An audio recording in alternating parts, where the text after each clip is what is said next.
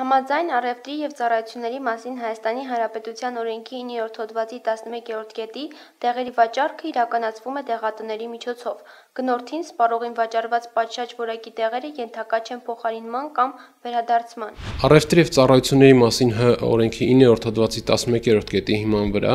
Հ վարչական իրավախախտումների վերաբերյալ օրենսգրքի 158-րդ հոդվածը սահմանում է, որ դեղատներում գնորդին վաճառված պատշաճ որակի դեղերը փոխարինելը կամ հետ վերցնելը առաջացնում է տուգանքի նշանակում պաշտոնատար անձի նկատմամբ 20000 դրամից 30000 դրամի չափով։ Համաձայն դեղերի մասին Հայաստանի Հանրապետության օրենքի առաջին հոդվածի դեղը կենսաբանական ակտիվությամբ օժտված կշռաչափված միջոց, որը ստացվել է մեկ կամ մի քանի դեղանյութերի եւ օժանդակ նյութերի հիման վրա, ունի ստանդարտ բաղադրություն, անփոփոխ անվանում, անհրաժեշտ տեղաչափ, տեղաձև եւ ձևավորում, այն նախատեսվում է մարդու եւ կենդանու հիվանդությունների բուժման, ախտորոշման, կանխարգելման, անզգայացման, հղիության կանխման համար, ազդում է օրգանիզմի ֆունկցիաների վրա։ Տեղ են հանդիսանում նաև հականեխիչ միջոցները, անտիսեպտիկները, վարակազերծիչ միջոցները, իմունակենսաբանական պատրաստուկները, հոմեոպաթիկ միջոցները։ Հարկ է նշել, որ տուգանքը առաջանում է միայն պատշաճ որակի դեղերի փոխարինման եւ հետընդունման համար, իսկ ոչ պատշաճ որակի դեղերի ենթակային փոխարինման կամ վերադարձման։